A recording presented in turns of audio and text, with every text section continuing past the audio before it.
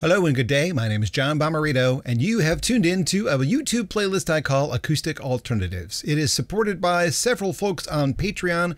If you'd like to join them and get the special benefits that come along with it, go to johnbommarito.com, look for the Acoustic Alternatives tab, and there you will find a link to my Patreon page.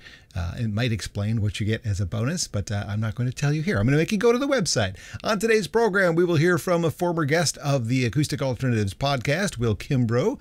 Richard Shindell is coming to Ann Arbor, so I'm going to highlight a couple of his tunes as well. Joe Pug coming to Lake Orion, he's on the playlist, and a couple from an artist I'm seeing this weekend at the Ark. Her name is Jess Merritt. Starting it off, a new collaboration of sorts from Noah Kahan and Brandi Carlile. He's re recorded some songs from his album Stick Season and released it as a deluxe edition. This is You're Gonna Go Far, Brandi Carlile joining Noah Kahan on Acoustic Alternatives.